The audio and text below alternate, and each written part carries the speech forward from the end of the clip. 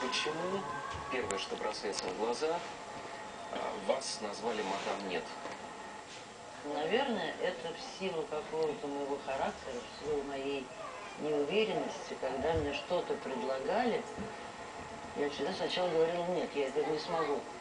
Слава Богу, что вокруг Лижет. меня были люди, которые вселяли эту уверенность, заставляли меня что-то делать, заставляли меня поверить в себя. И вот тогда что-то Рождалась прекрасная. Максимова не танцевала на сцене, парила над ней. Она была обречена на всемирное признание, сама того не желая.